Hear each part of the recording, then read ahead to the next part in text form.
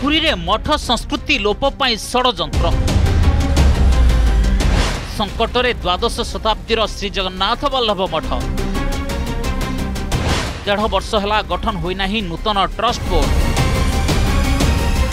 ସମ୍ପତ୍ତି ଅଚଳାଚଳ କିନ୍ତୁ ପ୍ରଶାସନ ହାତ ଟେକା ଉପରେ ନିର୍ଭରଶୀଳ। ବଡ଼ ଦାଣ୍ଡକୁ ଲାଗି କରିଥିବା ଐତିହ୍ୟ ସମ୍ପନ୍ନ ଶ୍ରୀ ଜଗନ୍ନାଥ ବଲ୍ଲଭ ମଠର ଅସ୍ତିତ୍ୱ ଲୋପ କରିବାକୁ ଚାଲିଛି ଷଡ଼ଯନ୍ତ୍ର। ଯେଉଁ ମଠ ଦିନେ ଅଚଳାଚଳ ସମ୍ପତ୍ତିର ମାଲିକ ଥିଲା ସେହି ମଠ ଏବେ ଶ୍ରୀମନ୍ଦିର ପ୍ରଶାସନର ହାତ ଟେକା ଅନୁଦାନକୁ ଅପେକ୍ଷା କରୁଛି।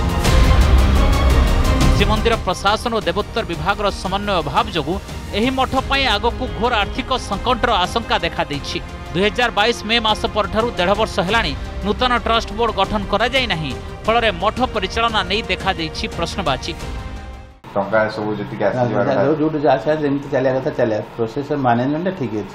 ଧରି ନିଅନ୍ତୁ ପାର୍କିଂ ଆଉ ଦୋକାନ ଇଏ ଯୋଉ ଯେତିକି ଟଙ୍କା ଆସିବା କଥା ସେସବୁ ଆସୁଛି ଆସୁଛି। ଆସୁଛି ପାର୍କିଂର ଫିଫ୍ଟି ପରସେଣ୍ଟ ଆସୁଛି। ଆଜ୍ଞା। ଆଉ fifty fifty percent temple administration ନେଉଛି ହଁ ଆଉ ଇଏ ଦୋକାନକୁ ନେଇ ଦୋକାନରେ ସବୁ ପଇସା ଆମ ପାଖକୁ ଆସୁଛି। ଯୋଉମାନେ ଦଉଛନ୍ତି ଯୋଉଟା ଆଦାୟ ହେଉଛି ସବୁରେ ଆମ ପାଖକୁ ଆସୁଛି। କିଛି ଜଣ ଦଉନାହାନ୍ତି ବି।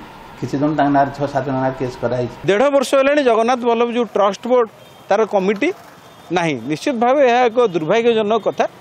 ଏବଂ ଦେବୋତ୍ତର ବିଭାଗକୁ ଏ ପ୍ରଶ୍ନ ଏବଂ ଜିଲ୍ଲା ପ୍ରଶାସନକୁ ମଧ୍ୟ ଏ ପ୍ରଶ୍ନ ହେଉଛି ଯେ କ'ଣ ପାଇଁ କରାଯାଇ ନାହିଁ? ଯଦି କରିନ ତେବେ ଏ ସଂସ୍ଥା ଚାଲିବ କେମିତି? ଜଗନ୍ନାଥ ବଲ୍ଲଭରେ ଯେତିକି ଜାଗା ଥିଲା ତା ଦେହରୁ ନେଇଗଲେ ମ୍ୟୁନିସିପାଲିଟି ଆଉ ଜଗନ୍ନାଥ ବଲ୍ଲଭ ପୋଲିସ ତିନି ଜଣ ଯାକ ମିଶିକି ତାକୁ ପାର୍କିଂ ପାଇଁ ଦେଇଦେଲେ। ଦୁଇ ହଜାର ଷୋହଳ ମସିହାରେ ଅଡ଼ିଟର ଜେନେରାଲ ଆମର ଧରିଲେ ଯେ ପଚସ୍ତରୀ ଲକ୍ଷ ଟଙ୍କା ପୂର୍ବତନ ସଭାପତି ଯିଏ ଥିଲେ ଟ୍ରଷ୍ଟ ବୋର୍ଡ଼ର ସିଏ ପଇସା ଫେରେଇବେ। ସେ ପଇସାଟା କେମିତି? ନା ସେମାନେ ଯେଉଁ ପାର୍କିଂ ଆଦାୟ କରିଛନ୍ତି ଯେଉଁ ସୈରାତରୁ ଆଦାୟ କରିଛନ୍ତି ଯେଉଁ ତାଙ୍କ ଅଣ୍ଡରରେ ଯେଉଁ ଖଣି ଅଛି ଯେଉଁଠୁ ପଇସା ଆସିଛି ସେ ସବୁ ଡୁପ୍ଲିକେଟ୍ ରସିଦ ଦିଆହେଇଛି ପଇସା ଡିପୋଜିଟ୍ ହେଇନି।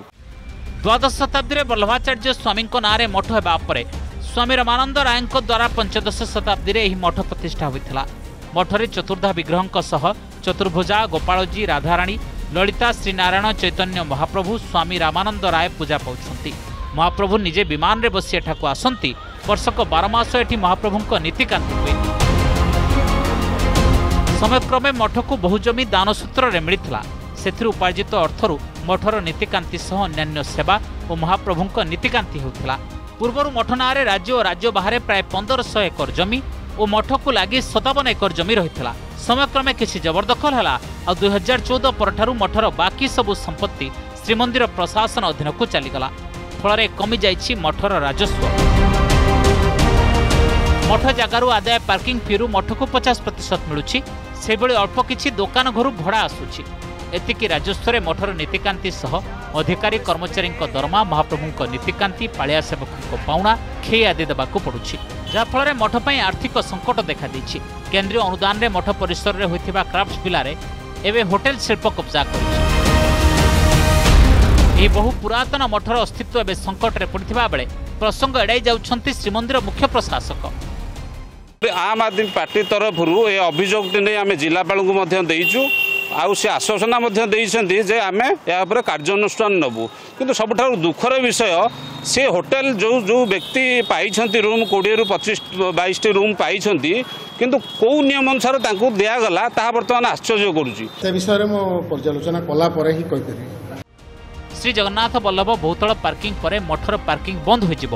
ଆୟର ଏହି ବଡ଼ ଉତ୍ସ ବନ୍ଦ ହୋଇଗଲେ ମଠ ଘୋର ଆର୍ଥିକ ସଙ୍କଟ ଦେଇ ଗତି କରିବ।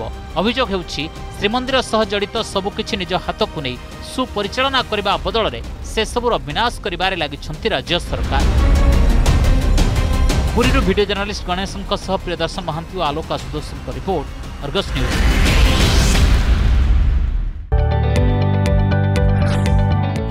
जदि आपण को आम भिडी भल लगा तेब आम को लाइक सेयार और सब्सक्राइब करने को जमा भी बुलां नहीं।